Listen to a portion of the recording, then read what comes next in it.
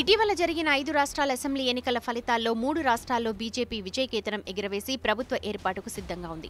గత ఎన్నికల్లో కాంగ్రెస్ గెలిచిన ఈ రాష్ట్రాలను ఇప్పుడు బీజేపీ హస్తగతం చేసుకుంది. దీంతో మోదీ నాయకత్వంపై కమలం పార్టీ ప్రశంసలు కురిపిస్తోంది. మోదీ దాటికి ఎవరూ నిలవరేరంటూ ట్విట్టర్లో ఓ వీడియో విడుదల చేసింది.